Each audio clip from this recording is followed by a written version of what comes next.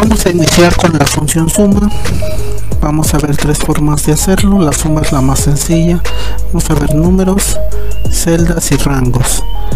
Bueno, aquí vamos a sumar números. 30 más 30 más 35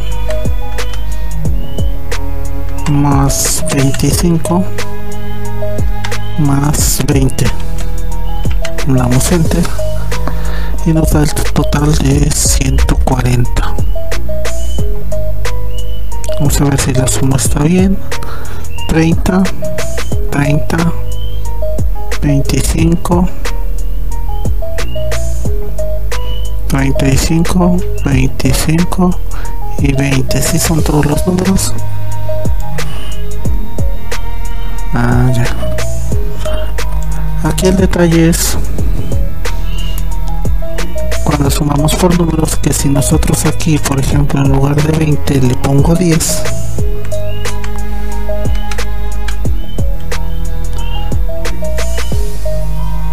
pues no va a pasar nada porque sumamos los números que capturamos pero en cambio si lo hacemos por celdas vamos a ver pero ahora vamos a poner el número de la celda. De 4 más de 5 más de 26 más de 7 más de 10 damos enter aquí debemos de tener cuidado estoy trabajando en esta celda en vez de trabajarla en esa. Tenemos que tener cuidado en cuál celda está dijimos que celda más celda más celda más celda más celda.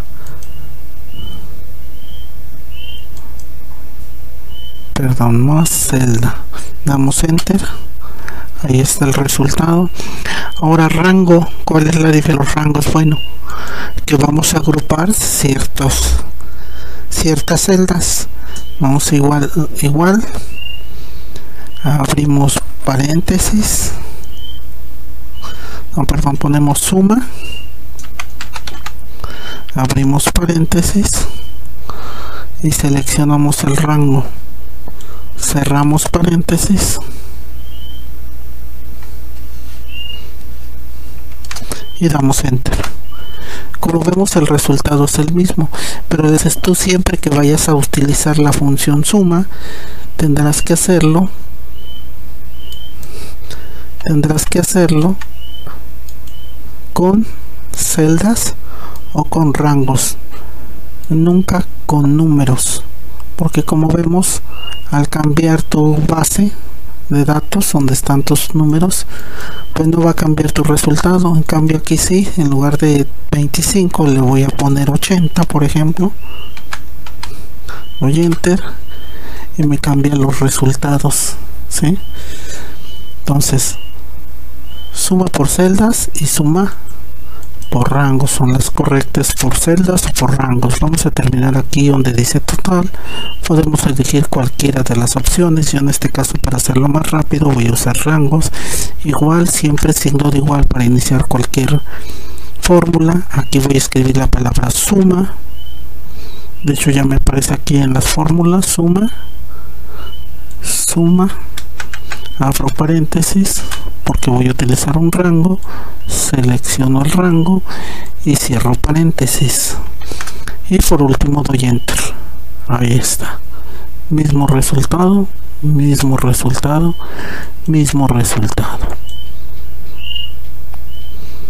En el siguiente vamos a ver cómo utilizar varias de las funciones varias de las operaciones porque como dijimos excel es para usos este administrativos que tienen que ver con contabilidad. Entonces sumar restar dividir promediar son todo lo básico que debes de tú saber hacer incluyendo filtros tablas dinámicas búsquedas buscar sí buscar. Vamos a ir viendo cada una de las funciones en los diferentes videos que vamos a estar viendo. Si te gustó el video suscríbete a mi canal